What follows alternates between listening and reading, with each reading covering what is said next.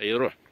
لك هذا هو الشيء اللي خلاني أنا نكتب المذكرات نتاع السي المختار بن شراط لأنني وجدت من خلال القص نتاعو والحكي نتاعو عن صغره وعن المكان الذي ازداد فيه ونشأ فيه وتربى ولم يؤتى حظا في التعليم حيث أنه لم يتعلم إلا بعد السنين في الجامع.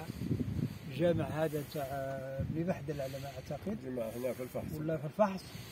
ولكن لمدة قصيرة. وبالتالي حرم من التعليم نتيجة ال... نتيجة ال...